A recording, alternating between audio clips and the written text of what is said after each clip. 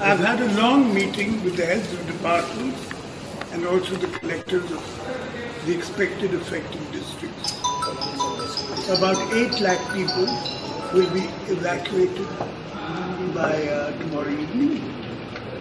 I appeal to everyone that the children, the women, the old, and the disabled be evacuated first.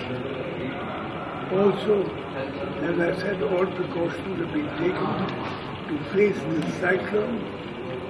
All lives are precious, every life is precious, and we'll certainly work towards that. Since the government is fully prepared to tackle uh, the uh, cyclone, We are fully prepared to tackle cyclone. and Sir, always, sir, always government focus on zero casualty. Yes.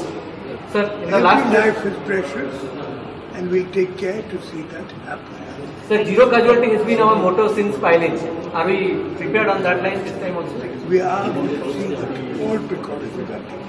thank you. Thank you, sir. Thank you.